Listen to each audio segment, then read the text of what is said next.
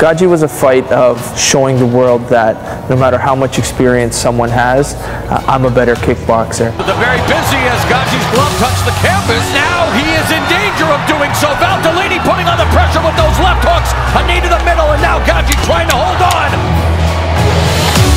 People thought I didn't have a chance, and I've been an underdog in all of my fights, and it was just another opportunity for me to show the world that I am one of the best kickboxers in the world.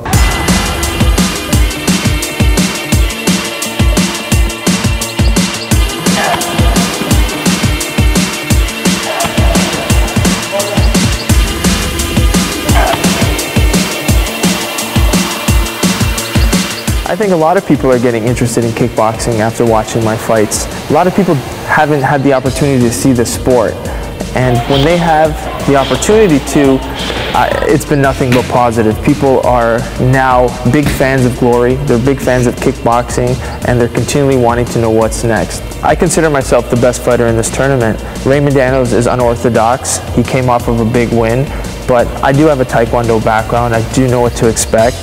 Karapet and Nieky Holzken bring a lot of experience into the ring. They have been around the international scene for a long time and have well over 100 fights. They're good fighters. I understand that this is a professional tournament, but I'm prepared for this. Uh, my training camp has been geared towards fighting two fights in one night.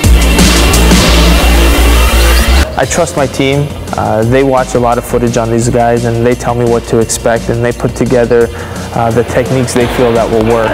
Tokyo is just another opportunity for me to show it.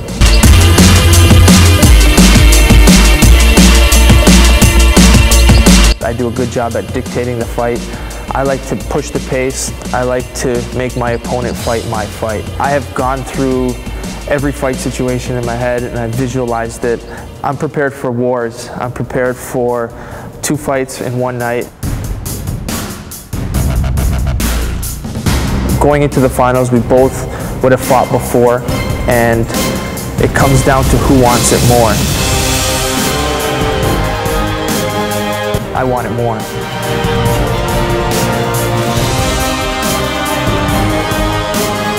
I want people to watch this sport and to be hooked.